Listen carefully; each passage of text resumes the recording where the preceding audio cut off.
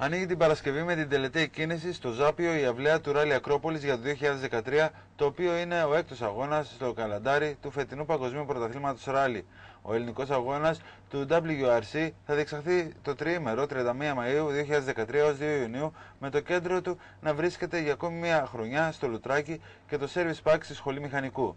Η οικονομική κρίση έπληξε το ράλι των Θεών, όπως αναφέρει το λογότυπο του αγώνα, καθώς φέτος συμπεριλαμβάνει 14 ειδικές διαδρομές έναντι των 22 που είχε πέρυσι.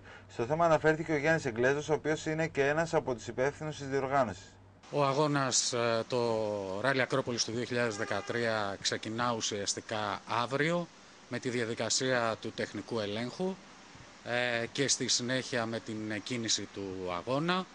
Ε, φέτος οι συμμετοχές είναι σημαντικές, πολλές, παρά τις δυσκολίες των καιρών και οι ξένοι οδηγοί ήρθαν όλοι, αλλά και είχαμε μεγάλη συμμετοχή από ελληνικά πληρώματα.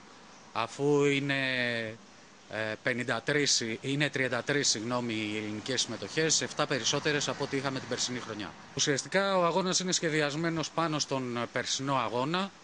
Ε, οι μοναδικές διαφορές είναι ότι έχουμε απογευματινή ειδική διαδρομή αμέσως μετά την ε, εκκίνηση. Η πρώτη μέρα του αγώνα λοιπόν θα είναι στο Λουτράκι με την ειδική κινέτα που είναι πολύ μεγάλη αλλά και την ε, νυχτερινή ειδική διαδρομή. Την επόμενη μέρα το Σάββατο, αυτά θα γίνουν την Παρασκευή, το Σάββατο αγώνας θα είναι στις ειδικές κλένια, γυμνό και ζύρια που θα γίνουν δύο φορές και το πρωί και το απόγευμα και ο αγώνας θα ολοκληρωθεί με την, ε, πάλι στην Κυριακή που θα γίνουν οι ειδικές ε, στα Γεράνια ή οι γνωστές ειδικές που γίνονται κάθε χρόνο.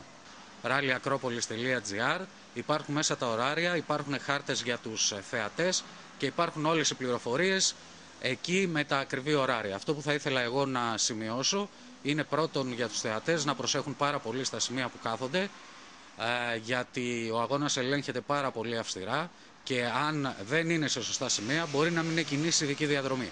Θα είναι κρίμα λοιπόν να μην εκκινήσει μια ειδική διαδρομή γιατί θα έχουμε κόσμο όπως κάθε φορά ο κόσμος αγκαλιάζει το ράλι Ακρόπολης να έχουμε κόσμο και να μην είναι στα σωστά σημεία να αποφεύγουν τα σημεία που είναι στην τροχιά εξόδου ενός αυτοκινήτου, να είναι σε ψηλά σημεία, να προσέχουν να μην χτυπηθούν από πέτρες που τυχόν πετάξουν τα αγωνιστικά και γενικά να ακολουθούν τις οδηγίες των ανθρώπων της οργάνωσης, οι οποίοι είναι και ενημερωμένοι και η οργάνωση είναι καλά στελεχωμένη για να μην έχουμε τέτοια θέματα. Κλείνοντας, θα ήθελα να πω ότι πολύ σημαντική παρουσία υπάρχει και από την Λέσχη της Κορίνθου, αφού αρκετοί αθλητές της ε, συμμετέχουν στον αγώνα.